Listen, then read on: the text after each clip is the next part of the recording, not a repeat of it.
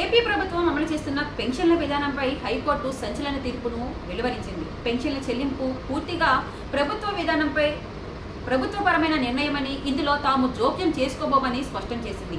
ఆర్థిక పరమైన అంశాల ముడిపడి ఉన్న వ్యవహారంలో నిర్దిష్టంగా ఫలానా విధంగా చేయాలని రాష్ట్ర ప్రభుత్వాలను న్యాయస్థానాలు ఆదేశించలేవని పేర్కొంది. ఇదే విషయాన్ని సుప్రీంకోర్టు సైతం చాలా స్పష్టంగా చెప్పిందని గుర్తు చేసింది. ఒక కుటుంబంలోని బహుళ పెన్షన్ల చెల్లింపుల విషయంలో ప్రభుత్వ నిబంధనలు సవాలు చేస్తూ దాఖలైన ప్రజా ప్రయోజన వ్యాధ్యాన్ని కొట్టివేస్తూ ప్రధాన న్యాయమూర్తి సిజే ఠాకూర్ న్యాయమూర్తి జస్టిస్ రావు రఘునందరావు ధర్మాసనం ఇటీవల ఈ తీర్పు వెలువరించింది. వైఎస్ఆర్ పెన్షన్ కానుక పథకానికి సంబంధించి ప్రభుత్వం రెండు వేల పంతొమ్మిది డిసెంబర్లో జీవో నూట నూట డెబ్బై నాలుగు జారీ చేసింది. కుటుంబంలోని బహుళ పెన్షన్ చెల్లింపుల విషయంలో ఈ జీవోలో కొన్ని నిబంధనలు తీసుకువచ్చింది.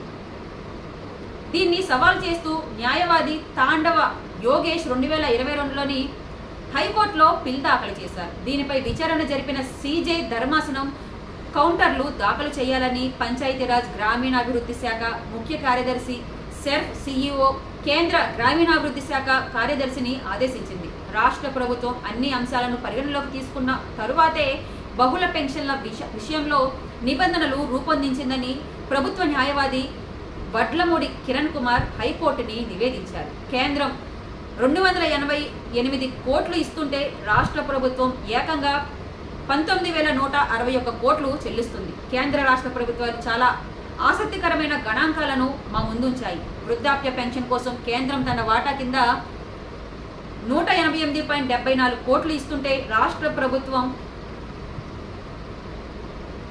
పదివేల నూట అరవై నాలుగు కోట్లు చెల్లిస్తుంది. వితంతు పెన్షన్ కింద కేంద్ర ప్రభుత్వం పంతొమ్మిది పాయింట్ ఏడు కోట్లు ఇస్తుంటే రాష్ట్ర ప్రభుత్వం మాత్రం నాలుగు వేల నూట ఇరవై తొమ్మిది పాయింట్ నలభై నాలుగు కోట్లు ఇస్తుంది. దివ్యాంగులకు దివ్యాంగులకు కేంద్ర ప్రభుత్వం తొమ్మిది పాయింట్ ఐదు కోట్లు ఇస్తుంటే రాష్ట్ర ప్రభుత్వం మాత్రం రెండు వేల ఐదు వందల తొంభై నాలుగు పాయింట్ ముప్పై ఒక్క కోట్లు చెల్లిస్తుంది. ఇలా రాష్ట్ర ప్రభుత్వం ఏటా పెన్షన్ల కింద వివిధ వర్గాలకు మొత్తం పంతొమ్మిది లక్షల పంతొమ్మిది వేల నూట అరవై ఒకటి పాయింట్ అరవై ఆరు కోట్లు చెల్లిస్తుంది.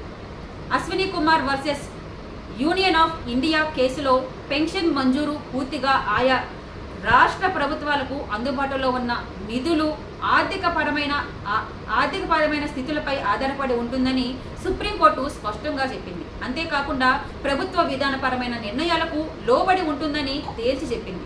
అందువల్ల పెన్షన్ల విషయంలో ప్రభుత్వ నిర్ణయంలో మేము ఏ రకంగానూ జోక్యం చేసుకోలేం. అది పూర్తిగా ప్రభుత్వ నిర్ణయానికే వదిలేస్తున్నాం. దివ్యాంగులకు పెన్షన్లు మంజూరులో కుటుంబాన్ని యూనిట్ యూనిట్గా పరిగణలోకి తీసుకోవాలని రాష్ట్ర ప్రభుత్వం నిర్ణయించింది.